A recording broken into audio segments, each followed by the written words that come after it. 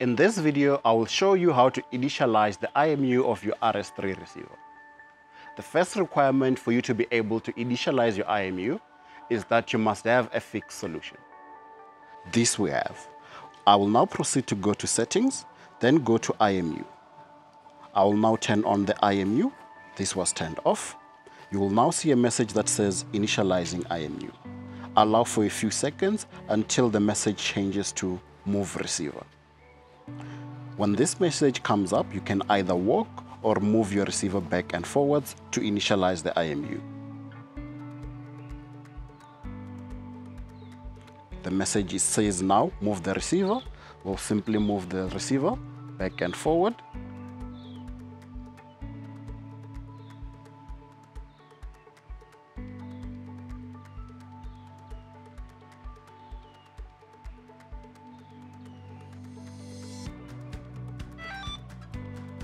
Okay.